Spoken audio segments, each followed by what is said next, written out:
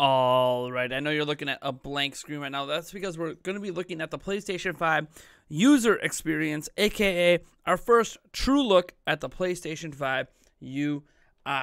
Uh, there's been a lot of talks, obviously, about next gen coming up.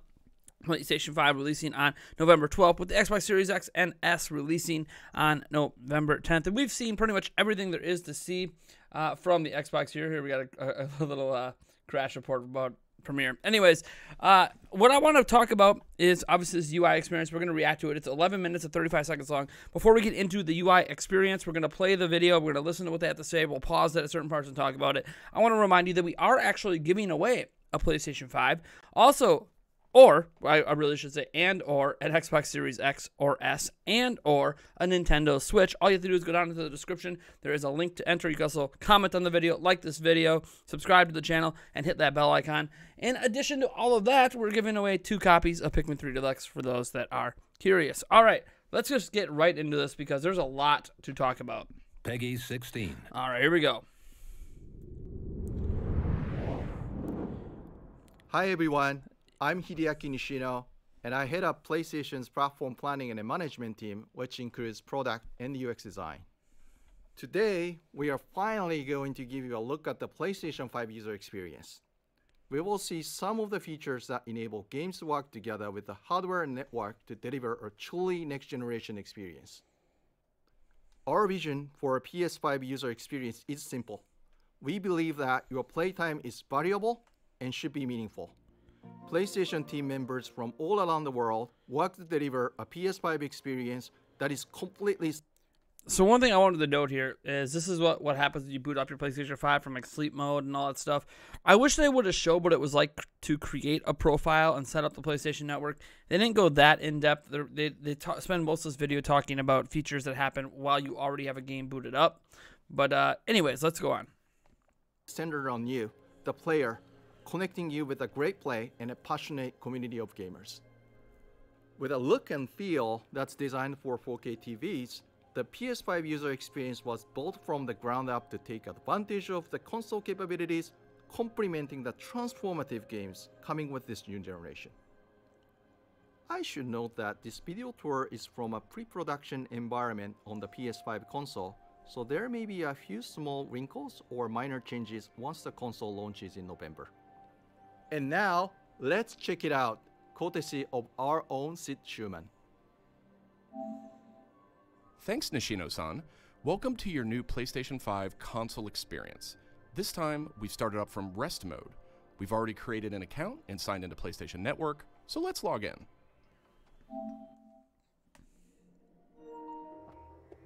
In this case, so this is our first look at the UI. Uh, this is obviously from rest mode, and then with the game already loaded up uh, because the console was in rest mode.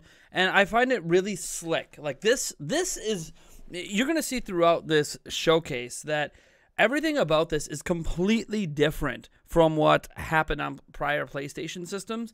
And I like how they, they kind of took that center uh, UI approach that they've had in the past that was kind of like a DVD menu. They moved that to the bottom of the screen. Uh, and then obviously they're going to go over all these new features with these things they call cards. Um, but honestly, this is all happening while the game is still there in the background. Uh, which to me is just extremely, extremely impressive. Uh, there's not really much about what Sony did that I would actually improve upon.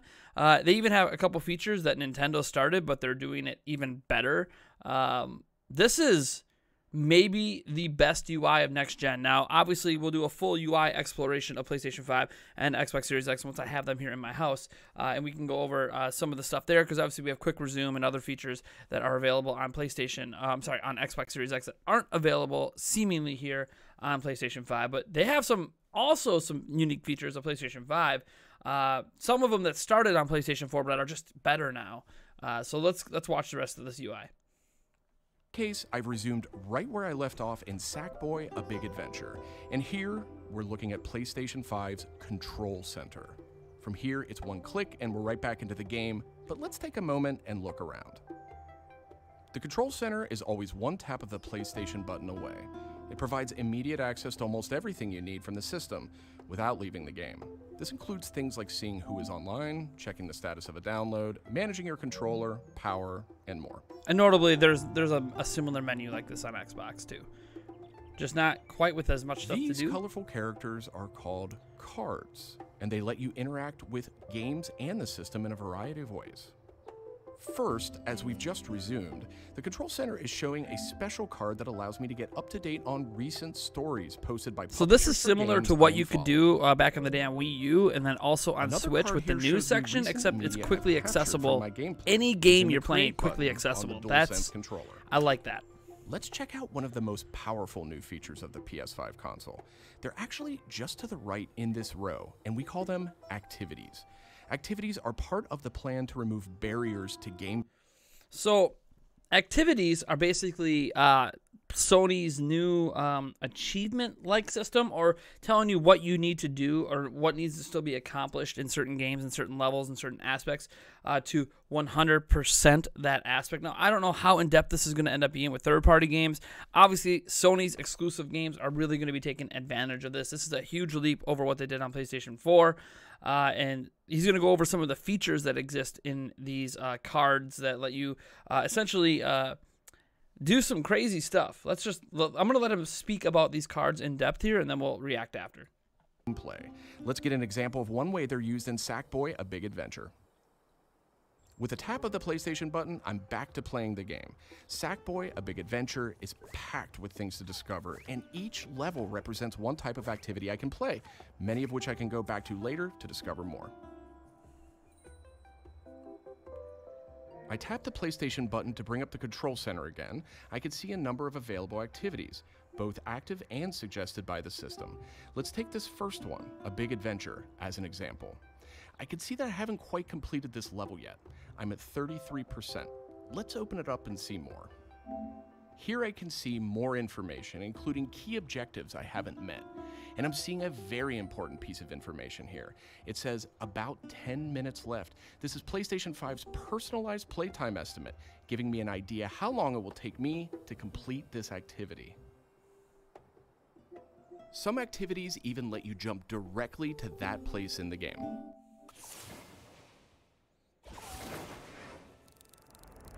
But there's more to see here. For another example, let's open that activity back up.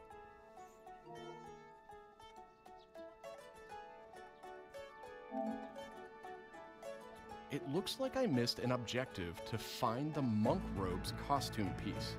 Looks like I need a little help. Some in game activities, like this one, offer official game help. Game help is included as a benefit for active PlayStation Plus members in some PS5 games. In this case, I can open up that objective to get some hints without resorting to a web search or digging through long videos or articles that might contain spoilers. This particular hint is a video, and I can play it here in the card, and I can expand it to get a bigger view without leaving the game. Sometimes it's really useful to be able to see the hint on screen while you play. Some cards can be put in a picture in picture mode, or as shown here, a side by side view. So, outside of the convenient way that you can see these hints, uh, what's interesting is that Nintendo actually had this idea back on Wii U. If you guys remember, if you died enough in New Super Mario Brothers U, uh, there would be like an option to basically let the game, like a Luigi version, like play through the game uh, for you, and then you could take over at any point. Uh, this is kind of like a similar thing to that, except instead of playing the game, uh, they're, what they're doing is they're eliminating the need for walkthroughs. Uh, this is very, very interesting because walkthroughs are still widely popular. They're one of the most searched for things on the internet. And a feature set like this is incredibly impressive in how seamlessly it integrates into the game. Uh, you're going to see later, you can do a picture in picture view. Obviously, you can go side by side here uh, to, to watch the hint as you're playing. I really love what Sony has done here with this UI design. Whoever uh, designed this feature set for hints, this is the ideal hint system. Now, obviously, we need to know how much work, extra work this adds to developers or, or whoever's making the game and how in depth this is going to be on every game. Because I'm guessing that for something like Sackboy, this was a lot easier to accomplish than for something like, say, a new Uncharted game or a new Last of Us game or even Spider Man. Uh, but we'll have to wait and see how developers take advantage of this or don't take advantage of this. We, we need to see how widespread this use case is. But at least for this game, really impressive. Super cool. And if you pin a card, you can access it via the control center at any time. Now let's go find those rascally monk robes. Thanks, Game Help. The team at PlayStation wanted to make it really easy to chat with your friends on the PlayStation 5 console. So let's check out how it Hey, works. Nintendo. Here, look at I'm this. Opening an interactive notification In-game voice chat across games.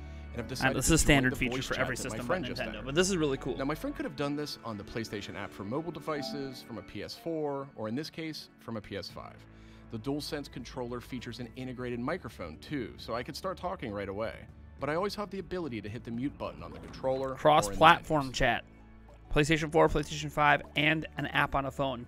Nintendo, take notes. Bam. Parties take on an expanded role with PS5, and they now provide persistent spaces to connect So this is cool. groups that you play So with. they experiment Here I have a couple of experimented with this back on PlayStation 4, but it's even better now. Watch watch how they do screen sharing with friends. That's right. It's not just voice chat. Watch this.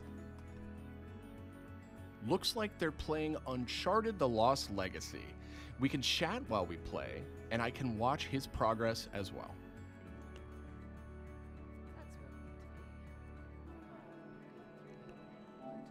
This is another card that could be put in picture-in-picture mode.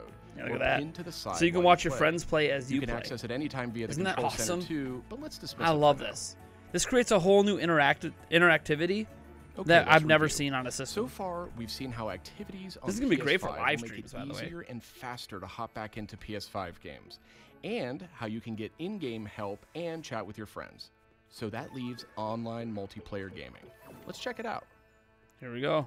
A lot I people see are that care some of my friends are online, so it's time to say goodbye to Sackboy for now and spin up a match of Destruction All There's your trophies. One of my friends in the party has already started a match, and we can join them from this card in Control Center.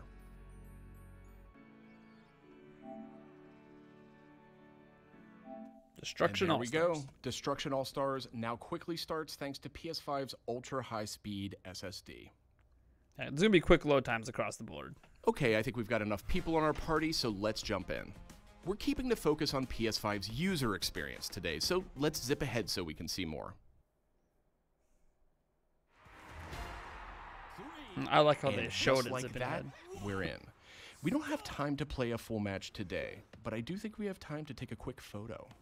To do that, I'll just tap the Create button on the DualSense controller.